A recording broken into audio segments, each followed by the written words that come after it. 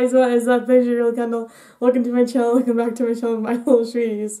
And welcome to recap of October. So, I this was the Halloween costume I wore to work. I was Pooh Bear again after two years. Fun times. This was part one of my Halloween costume. Part two was because I got the Hufflepuff robes in October, beginning of October. So, yeah. Got my Hufflepuff robes have my I could have worn anything in this video. I got like so many so much fun stuff has happened. I got my Hufflepuff robes in October. I got my Speak Now cardigan finally in October. Eras Tour movie. I'll go into all this fun stuff. So yeah. The biggest thing was was Taylor Swift. It was a Taylor Swift month. And 1999, Taylor's version. So let's get into this. So, and it was since anniversary of Midnight, the Midnight's record sticker I had left on my Taylor Swift stickers, a bus sticker, green blue, Tour movie, 1989 Taylor's version, hearts, fun stuff. Kind of the to-do list of the month, have fun, work hard, celebrate, self-care, breathe, enjoy life, party hard, meditate. So some important dates. October 4th was Minerva McGonagall's birthday. October 11th, National Coming Out Day, and also my nine year anniversary of coming out. That's such a fun day. October 27th, wait, no. October 13th, Eras Tour movie. October 20th, Fan Jam. October 21st was supposed to be Haylor Night, but we'll talk about why I couldn't go to Haylor Night. But I went to Fan Jam. That Ricky, my DJ friend, he DJ'd all of BYU homecoming weekend, which is really cool to me that he did that for like three days in a row. He did that. So, yeah. So I went with a friend, my friend Kira, who I met at Haylor Nights back in May. Over the summer, we went to Fan. I'll go into that a little bit later. October 27th, then was 1989 Taylor's version. And October 31st, Halloween. So yes, let's get into this. Let me show you what I did for the month. I used the colors orange and gray. Some dragon stickers. Because that was like Halloween-esque. Picture of McGonagall, dark art stickers and Bellatrix. McGonagall's birthday. Of course I care about fictional characters' birthdays. How could I not? this was the fun week. One of the fun weeks.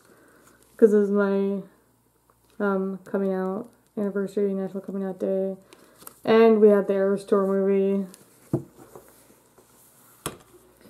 I went, so I went to the Eras Tour movie. Um, I'm just going to kind of go by events and then talk about some more events by the pictures I'm looking at. I went to the Eras Tour movie Thursday night and Friday night because Wednesday night was the premiere. I want to say that was the premiere. And she looks stunning. Several, every, almost everyone I follow on like Swiftie Instagram and Swiftie Twitter all got invited and met Taylor for the first time or got to see her again. So I thought that was really fun and cool. Taylor looked like Cinderella. Stunning. So I saw the movie in theaters Thursday night and Friday night, which was a blast. And then that's when that's the week my parents left for Italy for two weeks two and a half, like, uh, like two weeks. It was really fun to be alone. But I did have a scare when I came home Thursday night. I thought I lost my dog. That was the scariest thing in my life. My parents had only been gone for like 24 hours. He came on late for the movie. It's almost like a three hour movie. The concert. It's just going to the concert again. Oh man. I have the posters. I should have grabbed a poster, but I didn't. I have the posters. I have the I can show you the drink. I got the drink. And I have the popcorn bucket. I got two movie posters. That was fun. And yeah. So I thought I lost my dog. I came home. I couldn't find him anywhere. I called my sister bawling. Like I literally thought my dog like was stolen. Like I was like, how in the world did he get out? And our house is very secure. Everything's very secure in my house. So I was I was kind of like and there was no um, sign of break of someone breaking in and entering. So I went downstairs to check all the windows again in the basement, and then I finally looked in the playroom. I was on the phone with my friend Rory. Found my dog. Biggest sigh, biggest relief of my life. So yeah, terrifying. In the nine years, because I've always watched my dog. My parents have been out of town several times for a week, or a little over a week. This is the longest they've ever been gone, but still. I take care of my dog all the time since I was 17 years old, and I have never experienced this kind of scare with my dog. So that was horrifying. And so now, after every time I'd leave or I went somewhere the rest of the week, I would just close that door down here because I didn't want him to go back in the playroom where the kids play, my niece and nephews play. Because, yeah, no thanks. And then, oh yeah, it was Filius Flit- Flitwick's birthday. Flitwick's birthday. I forgot about that. Fan Jam was so much fucking fun.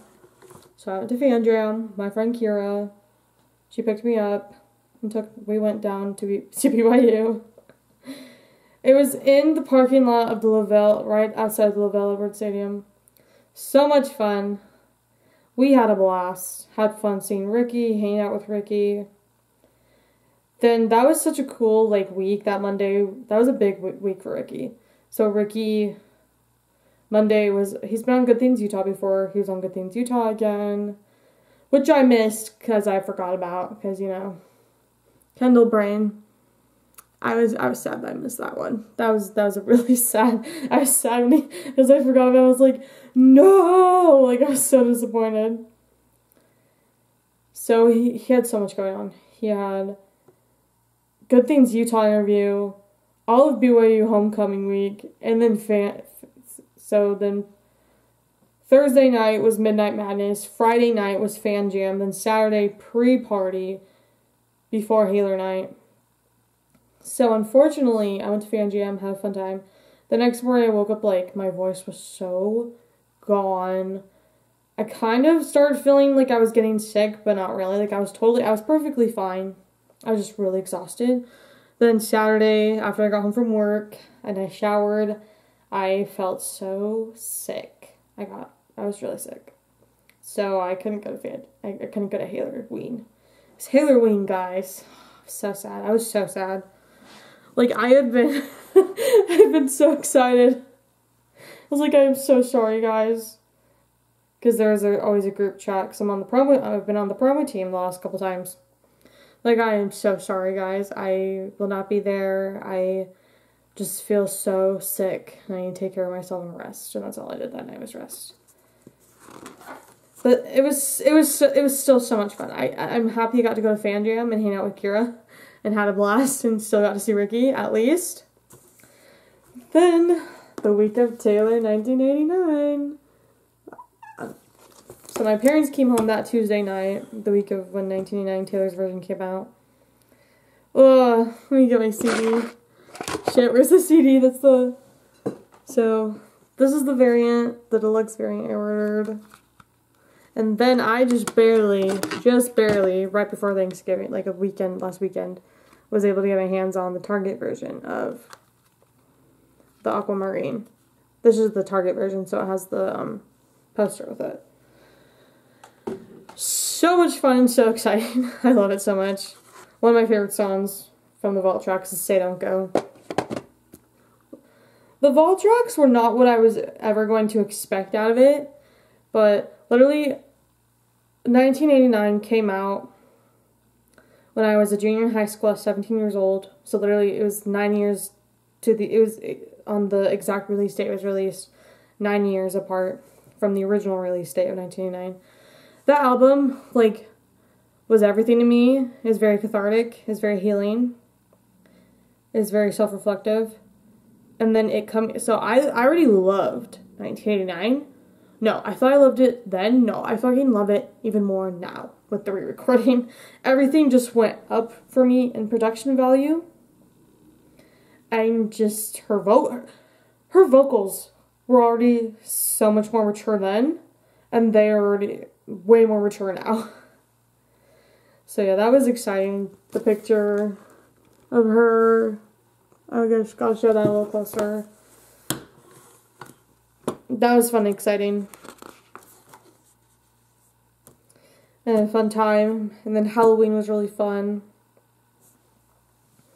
Halloween, I worked, came home. I, I got off like an hour early. My friend Milton brought me home. Cool guy. Love Milton. I just love all my coworkers, everyone I'm friends with at work. It's just a fun time. And Halloween was fun. I had a fun Halloween. Took my niece and nephew trick or treating. Ricky. So Ricky's sister Paula, I probably I think I mentioned this. I found I found out during um, Trash Weekly, like the day of the party, and then I told her at Trash Weekly party. She lives like a street over from me, or like a street down from me. Like, so Halloween, I live in Daybreak, Utah. Daybreak is like the most decorated in Utah. So we have a Stranger Things house. This year there was a Barbie Street over, it's called The Island. The Island. It's where all the super rich and fancy houses are in Daybreak. And there was a whole street that was Barbie Land. It was cool. I, I got to walk through it the weekend before, like a couple weekends before Halloween. I went on a Sunday night, and I feel like I was in Disneyland because of how packed it was through that area. I walked by myself. and take my dog because I'm like, I have no idea how long it's going to be. I was gone for an hour. I saw there's a Pirates Caribbean house over there. The Harry Potter house was so, that was my favorite because I'm a huge Potterhead. The Harry Potter house is my absolute favorite. So the Stranger Things house is on the same street as Paula's house. She's the Haunted Mansion slash Nightmare Before Christmas house. I know that house. I've been trick or treating around there with my niece the last three years, two, three years or something. Last few years. And I had no idea because I didn't know Ricky, I didn't know anybody. So that was their house.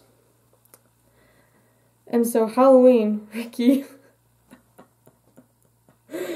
Bella had Ricky go over. Ricky had his DJ shit, his DJ shit, all this stuff. Was DJing outside of Bella's house. So after we had the kids over, I just went straight there because I saw Bella's Instagram. Because I said hi to Paula Halloween night. She looked incredible.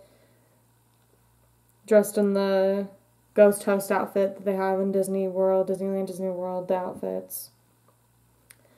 And I just partied with. They let me. They wanted me on their. I thought I was only gonna be there for like 10, 15 minutes tops, just kind of dancing, having fun. Just wanted. I just wanted to say hi. Because I didn't get to see Ricky. I saw him like the day before, but I didn't get to see him. I'm like, oh, it'd be fun to see Ricky on Halloween. and um, Ricky's friends were there. His friends Oh, what are their? I'm I'm the worst.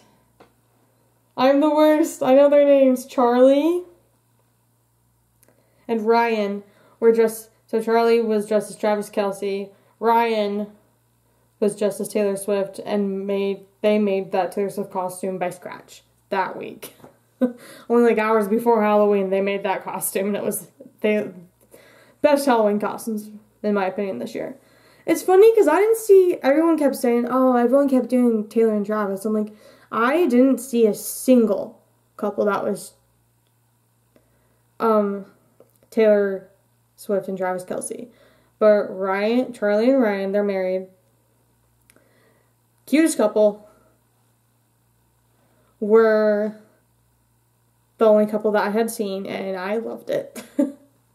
I just kept telling like, this is amazing. And so I made friends with Ricky's friends.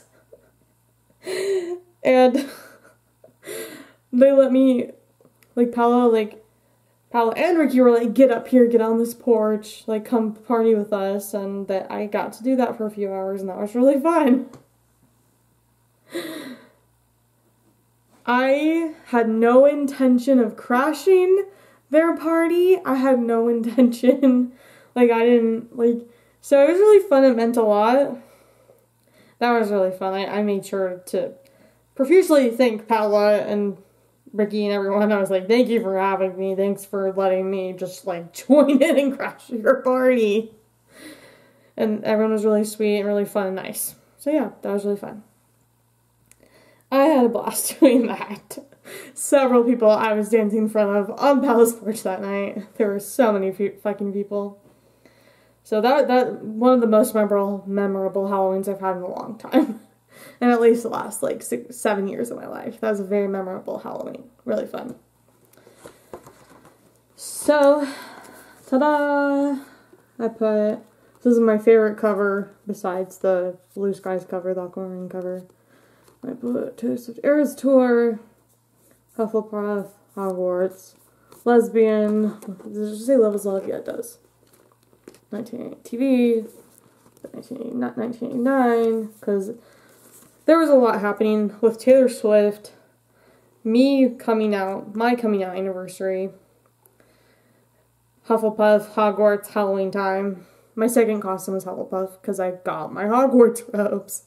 Just so dope. So, apart from all the good stuff I went through, I officially broke it off my friendship with Brady after 10, 11 year friendship.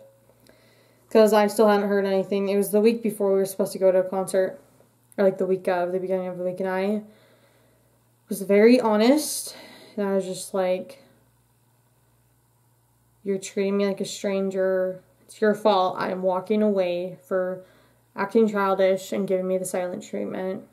I can't remember exactly what I said. And I'm not going to pull it up. I probably have a screenshot of it. I'm not going to pull up and read it because it's just kind of irrelevant at this point. And nothing was ever said. I blocked Brady on everything. I got rid of all the pictures. I ripped them out of the fucking um, photo album I have, my Harry Potter photo album from Conquest Journals. And just, yeah, no. Ooh, left a very bad taste in my mouth. And especially they were there and knew what Tim did to me, how Tim treated me, and how Tim was. And did the very exact same thing, and that just fucking hurts. Like, that just. And after everything, I'm like, you know what? This was eventually, I think, gonna come to an end. Anyway, whether, regardless if I caught feelings for them or not because I just have been reflecting. I was like, yeah, there's some things that we're gonna have to be addressed eventually. A lot of poor me, poor like a lot of Brady had a lot of poor me attitude, a lot of oh boohoo, I'm the victim, and my circumstance attitude, and just certain things that now I look at, I'm like I dodged a fucking bullet.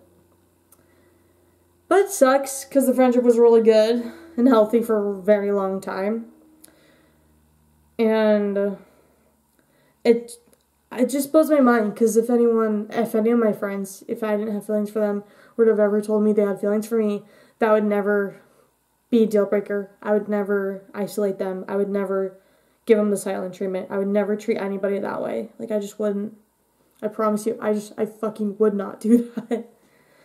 I'm like we're adults now, and this is not no good luck in your with your endeavors, but I'm out because I have my own shit I'm work I'm working on dealing with, and I just I have better friends, and so everything fun happening, and then Halloween after going through an, yeah another friend breakup, and just kind of it being like they do think I am thought of as like a friend to people.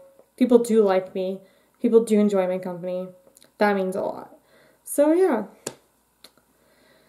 there's that. But let me read these quotes. So, these are mainly just Taylor Swift. Yeah, this is all Taylor Swift quotes. So, got love sick all over my bed from Slut. Got love struck, went straight to my head. Got love sick all over my bed. Is that that? And then what? And then from Stay Don't Go. This line, this line fucks with me. this is the line that, um, I think after going through two, going through a romantic breakup at the beginning of the year, a friend breakup and another friend breakup, so a total of three breakups in total this year alone. The Why'd you whisper in the dark just to leave me in the night? Now your silence has me screaming, screaming. Say, don't go. How would stay forever if you say, don't go. Like, why'd you, like, the, why'd you whisper in the dark just to leave me in the night? I'm like, holy fuck, I relate. And the last one is from Is It Over Now? I think about jumping off a very tall somethings just to see you come running. Cause the all the from the vault tracks. And then I also love Now That We Don't Talk and Suburban Legends, like just everything. I really was able to relate. There's another look at that. So yeah. And I really got into um I mostly at the end of September and beginning of October, I really got into Heartstopper. I fucking love Heartstopper. So I finally got into Heartstopper. I've read all the volumes. And then the next volume 5 comes out. Because I didn't know it was a graphic novel series. And then my friend Kira was like, I've been obsessed with Heartstopper. I'm like, I kind of have been too. And then she's the one who enlightened me. So I read all the novels after she told me about there was novels. And the fifth one comes out December 15th, so I'm really excited about that. So yeah, yeah, that is the month of October. Filled with ups and downs, mostly ups. I had a fun time. I had a damn good time. And yeah, I hope everyone's doing good. And I'll see you guys in the next video. Love you guys.